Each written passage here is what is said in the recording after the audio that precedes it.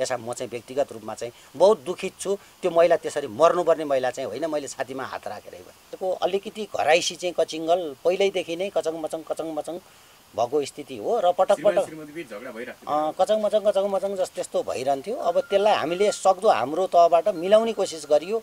ताकि यस्तो ज्यानै जाला भन्ने चाहिँ हामीले कल्पनाभन्दा बाहिरको केस भयो। सत्य तथ्य नलुकोस्। सोझा साझाले अन्याय नपरोस्। के अरे तपाईँको त्यो घटना घटाउने जोसुकै दोषी होस् त्यसले चाहिँ कानुनी उपचार पाओस् भन्ने कुरा हो मेरो। चाहिँ खाट खाट भने मैले आवाज सुने। मेरो श्रीमतीले पनि त्यहाँ त खलङ मलङ भयो नि त बुढा भनेर भनिरहँदा सधैँ त खलङ मलङ हुन्छ। यो यो यो विषयमा चाहिँ म म लगायत यहाँका जोकसुकलाई सोध्नुहोस् त्यो बहिनी चाहिँ यति निडर बहिनी थिइन् कि उनी चाहिँ सङ्घर्ष गर्नुपर्छ जीवन एउटा सङ्घर्ष हो भनेर लडाइँ गर्दै गर्दै आज बाह्रौँ वर्षसम्म यहाँ टिकेर डेथ भयो होइन? अब मरिसकेपछि मान्छे चाहिँ गुणगान गाउने हाम्रो नेपाली परम्परा।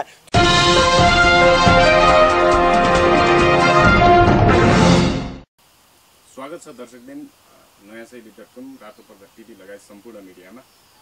आज हामी विशेष गरी केही दिन अथवा दुई दिन अगाडि जुन काभ्रेप्लाञ्चोक जिल्ला नवबुद्ध नगरपालिका आठ दाप्चा भन्ने स्थानमा आफ्नै जेठाजुले बुहारीलाई वनचोरोले प्रहार गरी हत्या गरेको घटनाका विषयमा आज हामी यहाँकै एक स्थानीय बुद्धिजीवी अथवा अगुवा एकजना व्यक्तित्व हामीसँग हुनुहुन्छ खास आज हामी उहाँसँग चाहिँ विशेष गरी उहाँहरू दुई परिवार अथवा मृतक र मृत- मृतक र मृतकको श्रीमान र जसले हत्या गर्नुभयो सुदर्शन अधिकारी हुनुहुन्छ उहाँलाई चाहिँ यहाँले अथवा यहाँले कसरी लिनुभएको छ यही विषयमा केन्द्रित रहेर आज हामी कुराकानी गर्छौँ र समग्र उहाँले यहाँ यसको न्यायको लागि यो घटनाको निष्पक्ष छानबिन र न्यायको लागि के कस्तो आवाज उठाउँदै हुनुहुन्छ भन्ने हिसाबमा पनि केन्द्रित रहेर कुराकानी गर्नेछौँ सुरुमा यहाँलाई स्वागत गर्न चाहन्छु धन्यवाद हजुरको परिचय पाउनु छ सुरुमा म नवराज अधिकारी नवबुद्ध नगरपालिका वडा नम्बर आठ पूर्व डराउने पोखरी वडा नम्बर सात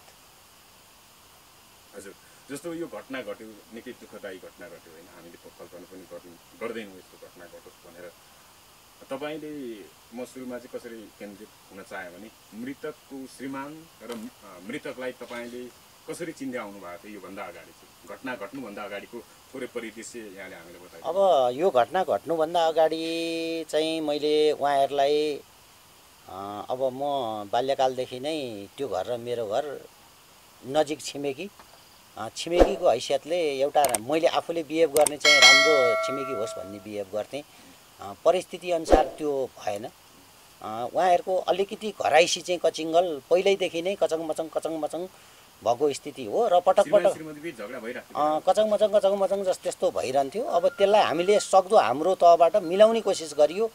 ताकि यस्तो ज्यानै जाला भन्ने चाहिँ हामीले कल्पनाभन्दा बाहिरको केस भयो? अब यो वास्तवमा चाहिँ उहाँहरूको वैवाहिक जीवनदेखि नै यता आउँदै गर्दा अब उहाँहरूको मिलन नभएको देखिन्छ घर परिवार त्यो नानीसँग। त्यो पटक पटक त्यो नानी चाहिँ म आउने रुनी कराउने धेरै गरिए सायद उसको आँसु चाहिँ तपाईँको यहाँ भरेको भए मेरो घर भरिन्थ्यो होला। म एउटा कुनै पार्टीको प्रतिनिधि हुँदा त्यो नानीलाई स्वास्थ्य चौकीमा जागिर खुवाउन कलम चोब्ने हात्ती नै हुन्। मैले चोबेको छु। मेरो संयन्त्रमा बस्ने साथीहरूले पनि सहयोग गर्नुभएको छ मेरो कुरालाई र यत्तिकै चेलीलाई हामीले बाहिरबाट आएकी चेली यहाँ हाम्रो गाउँकी बुहारी भइन्। उनलाई चाहिँ सेभ गरियो भने हाम्रो समाज पनि सेभ हुन्छ भनेर उनलाई एउटा रोजगारीमा दाप्चा हेल्प पोस्ट डराउने पोखरीकोमा हामीले कार्यालय सहयोगीको रूपमा पिएन भन्छन्। त्यो रूपमा पनि हामीले स्थापित गरायौँ। र। र त्यो चाहिँ त्यसले गर्दा उहाँको रोजीरोटी एउटा छोरा थियो। अहिले पनि छ कुशल अधिकारी भन्ने मामा घरतिर कता छ।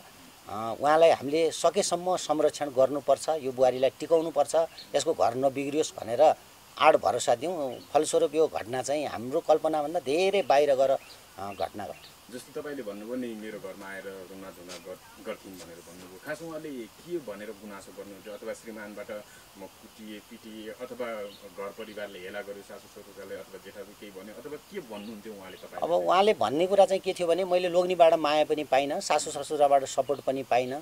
तपाईँहरूले पनि सपोर्ट गर्नु भएन भने म कहाँ जाउँ बिहे गरेर म आइहालेँ भनेर गुनासो गर्नुहुन्थ्यो। त्यो गुनासो हामी सबैले यहाँका बुद्धिजीवी सर्कल सबैले बुझेर उहाँलाई एउटा रोजगारीमा चाहिँ हामी यहाँ त्यहाँको सबै नवबुद्ध नगरपालिका वडा नम्बर आठका अगुवाई मान्छेहरू बुद्धिजीवी मान्छेहरूले यत्तिकै बुहारीलाई गर्नुपर्छ भनेर हामीले त्यो स्वास्थ्य चौकीमा सेभ गरिदिएको ए, भनेपछि उहाँको रुना धुना भनौँ पीडा सहन नसकेर तपाईँहरूले एउटा खाने बाटो होस् न त भनेर थियो गरेको गरेको त्यो गरेको। अब घटनामा केन्द्रित हौँ खास त्यो पछि अब भर्खरै त्यो दुई दिन अगाडि त्यो घटना घट्यो। त्यो घटना हुँदै गर्दा तपाईँ कता हुनुहुन्थ्यो? कसरी थाहा पाउनु यो घटना विषयमा यो घटना हुँदा म घरै छु। हजुर। अघिल्लो दिन बेलुका सात बजे।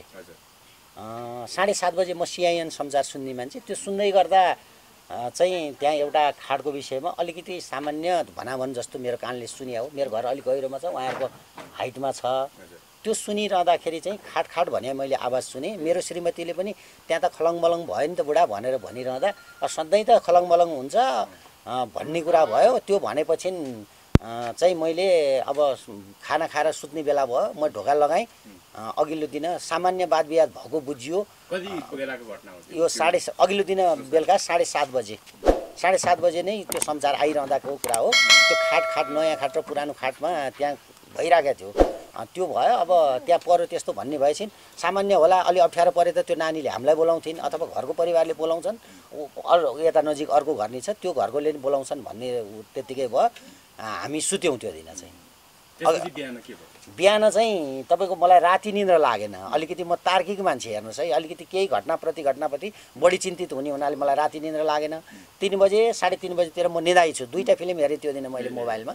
अनि त्यसपछि म सुत् सुतेँ सुत्दाखेरि बिहान छ बजेर सत्ताइस मिनटमा मलाई बरबोटको यज्ञ दाई यज्ञबहादुर लामा दाईले फोन गर्नुभयो।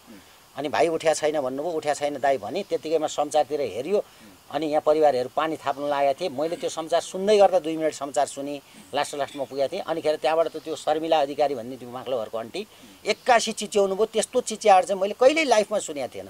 त्यसरी आवाज निकाल्नुभयो। शर्मिला अधिकारी। शर्मिला अधिकारी भने ती नजिकै छिमेकी जोडिया हुनुहुन्छ। अनिखेर त्यहाँबाट मेरो बुढीले यहाँबाट पानीको गाग्री नै ढलाएर उहाँ पुगिसके छोरी पुगिसके म सुत्ने पोजिसनमा थिएँ उठेर त्यहाँ सुरुवाल एउटा छोरालाई लियो भनेर सुरुवाल लिएर त्यहाँ पुग्दाखेरि त्यो रञ्जना तिमल सेना अधिकारीको डेथ भइसकेको थियो। सब चाहिँ? तपाईँको त्यो यसरी सुतेको अवस्थामा थियो मान्छे लडिसकेको थियो। उसको श्रीमानले दाइ एम्बुलेन्स एम्बुलेन्स भनिराखेको थियो। मैले त्यहाँ ठ्याक्कै हेर्दाखेरि एम्बुलेन्समा सम्भावना भएन। मैले चाहिँ पुलिसलाई सयमा फोन गरेर पुलिसको कानुनको सहारा लिएँ त्यतिखेर। तपाईँ पनि अब पुरै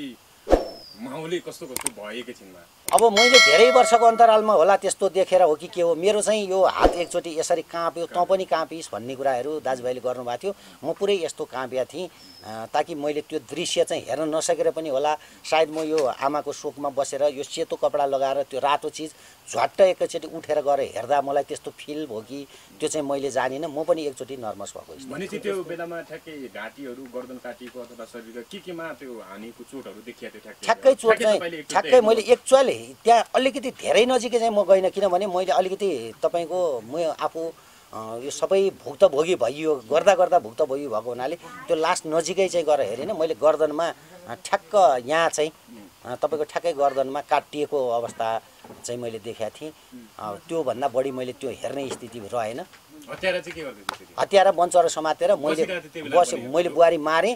भनेर त्यहाँ बसिराखेको स्थिति थियो। वरपरका आउनेलाई मेरो घरको केसमा त नबोल तेरो तेरो तँलाई छोको हो र उसलाई छोको हो र उसलाई छोको भनिराखेको थियो। जब म गएँ म गएपछि ऊ अलिकति नर्भस भएको स्थिति थियो अलिकति बेला? थिएन थिएन सास थिएन। मैले आफूले हेर्दाखेरि श्री उसको श्रीमानले एम्बुलेन्स एम्बुलेन्स भनिरहँदाखेरि मैले यसो हेर्नु पऱ्यो नि एम्बुलेन्स बोलाउने स्थिति छ कि छैन त हेर्नु पऱ्यो अब फेरि एम्बुलेन्स बोलाइएला फेरि लाँदा लाँदै बाटोमा अर्को दुर्घटना होला हामी त फेरि अर्को जोखिममा पर्छौँ भन्ने मैले थोरै बुद्धि पुर्याइ पुर्याइन मलाई त्यो थाहा छैन। मैले चाहिँ त्यहाँ हेर्दाखेरि मैले अब एम्बुलेन्स भन्दा पनि पुलिसलाई चाहिँ फोन गरौँ भनेर मैले स्याम्पाटी चौकीलाई सयमा फोन गरेर चाहिँ यहाँ प्रहरी प्रहरी लगभग हाम्रो यहाँ चाहिँ घटना घटेको पच्चिस मिनट जतिमा प्रहरी स्याम्पाटीबाट असाई साहब र हल्दार साहब दुईजना आउनुभएको थियो। उहाँहरू नआउन्जेल मैले हत्याराको मैले ड्युटी गरेँ भाइहरू सबैलाई बोलाएर त भाग्छस् कि भाग्दैनस् भनेर सोधेको म भाग्दिनँ भनौँ। मैले रड र नाम्लो ठिक पार भनेर एउटा भाइलाई भनेको थिएँ किनभने भागिहाल्यो भने त त्यसको खुट्टा सुट्टा भाँचेर हत्यारालाई त उम्किन दिनु भएन भनेर हामी व्यवस्थित थियौँ। ऊ भाग्दिनँ भनौँ भाग्दिनँ भनिसकेपछि त्यसलाई त्यहाँ राखेर म यसै गरी कुर्सीमा बसेर उसको ड्युटी चाहिँ मैले गरेर बसेँ। ए भन्नाले उच्च निगरानी गर्नुभयो भाग्न पाएन। पाएन भागेन। ए। तर त्यो तपाईँ जानुभन्दा अगाडि उनले चाहिँ पुरै अरूलाई पनि त्रासकै वातावरण राखिरहेको थियो थियो थियो त्यो सबै यहाँको त्यो महिला दिदीबहिनीहरू सबै त्यो जो जो हेर्न जानुभयो उहाँहरूलाई चाहिँ उसले चाहिँ एकदम त्रसित बनाएको स्थिति चाहिँ थियो। थोरै अब फेरि सम्बन्धकै बारेमा कुराकानी गरौँ। जस्तो हामीले उहाँको सासु ससुरा बुझ्दाखेरि चाहिँ अब अंशको विषयमा कता यताउता हुने कुराहरू पनि कुरा गर्नुभएको थियो भने सासु ससुरा तपाईँले बुझ्दा चाहिँ के अब त्यो झगडा पनि भइरहन्छ भन्नु अब यसलाई मैले अलि- कुराहरूमा हो कि अथवा के कुरा अलिकति पृष्ठभूमिसहित भने है त मैले अलिकति लामो हुन सक्ला। हजुर, हुन्छ। अम, जब त्यो नानी यहाँ बिहे गरेर आइन्। त्यो बेला म ठ्याक्क बसोबासको हिसाबले यहाँ बसिसकेको थिएन। म बाहिर आफ्नो सिलसिलामा गएको थिएँ। म यहाँ जब बस्न आइसकेपछि चाहिँ मलाई यस्तो भयो त्यस्तो भयो भनिन्। यसरी बस यसरी बस भनियो। अर्काको घरमा बसेका थिइन्। पछि चाहिँ उनकै घर सार्ने हाम्रो हरिमामा लगायत यहाँ- यहाँका दाजुभाइ अगुवाई दाजुभाइहरूले सबैले मिलेर यसो गर्नुपर्छ भनेर केस मिलायौँ। केस मिलायौँ उनलाई बस्ने वातावरण बनायौँ। वातावरण भएपछि उसको लोग्ने एकचोटि विदेश गएर आएर बिहे गरेको हो त्यो नानीलाई। फेरि विदेश गयो। विदेश गइसकेपछि पनि उनीहरूको बिचमा फोन टकरावमा के के भयो अब घर झगडा त्यो सबै कुरा मलाई थाहा छैन। मलाई थाहा हुने भएन अर्काको कुरा। बाहिर जे देखियो त्यो भन्ने हो मैले। अँ, त्यसकारण उहाँहरूको घरमा मिलन चाहिँ त्यति राम्रो थिएन र पृष्ठभूमि गर्दै गर्दै आउँदाखेरि बिचबिचमा त्यो नानीले गुनासाहरू दुःखहरू दुखेसोहरू यस्तो पऱ्यो भनेर उहाँले भनिरहनुहुन्थ्यो। अनि अहिले पछिल्लो चरणमा पुसमा लगभग पुसमा उसको उहाँको श्रीमान फेरि विदेशबाट आयो। सासु ससुरा पनि छोरीकोमा गएर काठमाडौँ बसिया स्थिति थियो यहाँ थिएनन्। ऊ नानी मात्रै एउटा छोरो लिएर बसेको थियो हामीसँगै यहीँ नजिकै। त्यसपछिबाट उहाँ पुसमा लगभग उहाँको श्रीमान आएपछि बुवा आमा पनि यहाँ लिएर आयो। अनि त्यसपछि श्रीमान श्रीमती मिलेर भूकम्पको घर पनि बनाए। उनी स्वास्थ्य चौकीमा जागिर थियो भनेर मैले पहिल्यै भनिसकेँ। त्यसरी भयो त्यस्तो हुँदाखेरि पनि त्यहाँ घरभित्र कचिङ्गल भइरहेको थियो। तर के विषय हुन्थ्यो भन्ने तपाईँलाई त्यो खास अलिकति त्यो भित्री कुरा चाहिँ मलाई थाहा भएन बाहिरी कुरा देख्दाखेरि चाहिँ आशय बुझ्दाखेरि अंशसँग अंशसँग घर घर घर सम्बन्ध नै त्यस्तो थियो। त्यो हुँदै गर्दाखेरि उहाँहरू लगभग अब अहिले ठ्याक्कै दुई महिना भयो बुढाबुढी नै बेग्लै बस्नुभएको थियो। श्रीमान श्रीमती नै बेग्लै बस्नुभएको थियो। अनि त्योलाई चाहिँ असहज भयो हामीलाई चाहिँ। अनि सबै हाम्रो दाजुभाइ मिलेर तिमीहरू कि छोडपत्र गर। तिमीहरू छोडपत्र डिभोर्स गरेर बस। कि श्रीमान श्रीमती एकै ठाउँमा बस भन्ने स्थितिमा हामीले धेरै छलफल गर्दाखेरि उहाँहरूलाई श्रीमान श्रीमती अब आजबाट मिल्यौँ है भनेर मिलापत्र गराएर एउटै घरमा हुलिदिएको अहिले दुई महिना भयो। दुई महिनाभन्दा यताको चाहिँ सम्बन्ध उहाँहरू बुढाबुढीको असाध्यै राम्रो थियो। जेठाजुले चाहिँ किन मारे भन्ने अब यसमा जेठाजुको पृष्ठभूमि मैले जोड्ने। जेठाजु पनि तपाईँको धेरै वर्ष बाहिर बाहिर बाहिर बाहिर बसेर नौ वर्ष दस वर्ष लगभगमा अहिले गाउँ फर्किएको बुझ्नुभयो नि? त्यो विदेश विदेश कता कता गयो त्यो दुबईतिर कतार मलेसिया कहाँबाट आयो काठमाडौँतिर बस्यो सोलुतिर गयो सायद यो सोलुतिर पनि केही जोडिया हुनसक्छ है? हुनसक्छ मात्रै मैले ठ्याक्कै चाहिँ भनिनँ। सोलुतिर नि केही जोडिया हुनसक्छ। अनि यहाँ आएको पन्ध्र बिस दिन भयो होला लगभग पन्ध्र बिस दिनमा हजुर? पाँच थरतिर कता बसिए त्यहाँ पनि केही जोडिया हुनसक्छ। त्यहाँबाट यहाँ पहिला पनि केसमा फस्या छ। उहाँ चाहिँ के चोरी केसमा सत्ताइस अट्ठाइस महिना जेल बसेर बाहिर हिँड्नुभएको हो सुदर्शन अधिकारी भन्ने मान्छे। त्यसपछिबाट उहाँ आउनुभयो जब यो गाउँभित्र आउनुभयो हामीसित भेटघाट गरेका कुरा गर्नुभयो। आफ्नो ठाउँमा होला। त्यो आर्थिक पाटोबाट अलिकति त्यहाँ त्यस्तो भएको छ जस्तो पनि बुझिन्छ। किनभने हातेमालो सहकारी संस्थामा पैसा दुई लाख रुपियाँ त्यो भाइचाइँले घर बनाउँदा रञ्जना र भाइचाइँले ऋण लिएर घर बनाएको हुनाले त्यो पैसा तिर्दिए भन्नेसम्म पनि कुरा चाहिँ अहिले बाहिर आएको छ। यो त जति जति घटना हुँदै गयो त्यति कुरा बाहिर आउँछ र मेरो भनाइ के छ भने सत्य तथ्य नलुकोस्। सोझा साझाले अन्याय नपरोस् के अरे तपाईँको त्यो घटना घटाउने जोसुकै दोषी होस् त्यसले चाहिँ कानुनी उपचार पाओस् भन्ने कुरा हो मेरो। त्यहाँबाट आइसकेपछि तपाईँको त्यो त्यो घटनासित पनि भाइलाई पैसा तिर्दिए भन्ने पनि कुरा अलिकति आएको छ। तँ पैसा तिर्दिए म हाते हातेमालोबाट पैसा लिन्छु भन्ने अनि म एउटा व्यवसाय गर्छु भन्ने पनि कुरा आएको थियो। मसित यहाँ आएर म उ यहाँ सुँगुर पाल्छु भन्ने बङ्गुर खेती गर्छु भन्नुभएको थियो उहाँले। यो गाउँको माझमा मैले त्यहाँ घर बनाएको छु। बुङ्गुर पालन नै चाहिँ नगरौँ बरु तलतिर जग्गा खोजेर पालन गरौँ बाख्रा कुखुरा पाल्नुहोस् किनभने समाजलाई दुर्गन्ध हुन्छ। भनेर आजभन्दा चार दिन अगाडि मैले यहीँ पनि त्यो जो घटना यो होइन त्यस्तो त्यो विषयमा तपाईँले स्पष्ट पारिदिनु होइन यो यो यो यो विषयमा चाहिँ म म लगायत यहाँका जोगसुकलाई सोध्नुहोस् त्यो बहिनी चाहिँ यति निडर बहिनी थिइन् कि उनी चाहिँ सङ्घर्ष गर्नुपर्छ जीवन एउटा सङ्घर्ष हो भनेर लडाइँ गर्दै गर्दै आज बाह्रौँ वर्षसम्म यहाँ टिकेर डेथ भयो होइन? अब मरिसकेपछि मान्छे चाहिँ गुणगान गाउने हाम्रो नेपाली परम्परा तर पनि सङ्घर्षशील महिला हुन्। त्यो महिला चाहिँ मैले हामीले त के भन्ने गरेको थियौँ तिमी चाहिँ नेतामा हुनुपर्ने जागिरमा अल्झ्यौ नानी पनि भन्ने गरेको थियो। एउटा गुण चाहिँ उनका त्यस्तो थियो। अवैध सम्बन्ध भन्ने चाहिँ हामीलाई थाहा छैन। त्यो त भोलि भोलि यस्तो खालको फेरि प्रचार नहोस् होइन त्यस्तो अनर्गल प्रचारबाजी नहोस्। मेरो एउटा तपाईँहरूसित मिडियाहरूसित एउटा रिक्वेस्ट पनि छ।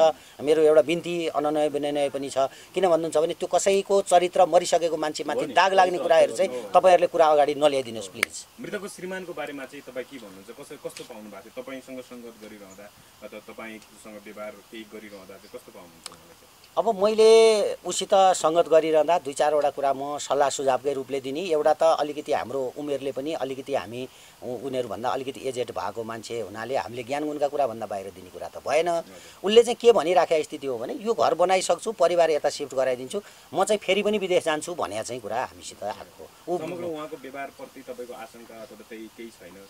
अब म यो कुरा चाहिँ त ठ्याक्कै यो मैले भने नि कल्पनाभन्दा बाहिरको घटना मैले चाहिँ ठ्याक्कै यो भन्न सक्दिनँ। उहाँहरूको सम्बन्ध नराम्रो थियो हामीले राम्रो बनाइदिउँ समाज सबै मिलेर।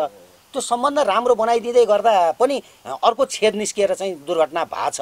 हत्याराले मैले हत्या गरेँ भनिरहेका छ। हामीले कानुनलाई जिम्मा दिएका छौँ। भोलि कानुनले जे ठहराउँछ त्यो कुरा हामी स्वीकार्छौँ समाजले स्वीकार सर अब हामी कार्यक्रम पनि अन्त्यमा आइसकेका छौँ। जस्तो तपाईँ केही गाउँमा घटना घटिरहँदा तपाईँ अगुवा बुद्धिजीवी भएको हिसाबले यसलाई निष्पक्ष छानबिन होस् र निर्दोषले न्याय पाउन् र दोषीले सजाय होस् भन्ने कुरामै तपाईँको पनि भावना हामी बुझ्छौँ समग्रको भावना यही हो।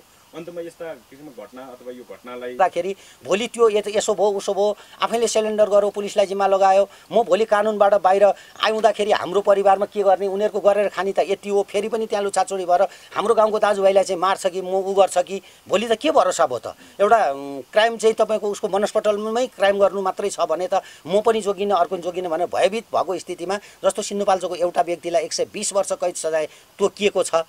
त्यो एक सय बिस वर्ष पनि कम होला सायद। कम होला। होइन त्यस कारणले गर्दाखेरि बढीभन्दा बढी उसलाई चाहिँ कानुनी चाहिँ ऊ होस् दायराभित्र रहोस् ताकि यो जन जनमास तपाईँको त्यो भयभीत मुक्त होस्। मैले चाहिँ यो अपराधहरू नदोहोरियोस्। नदोरियोस्।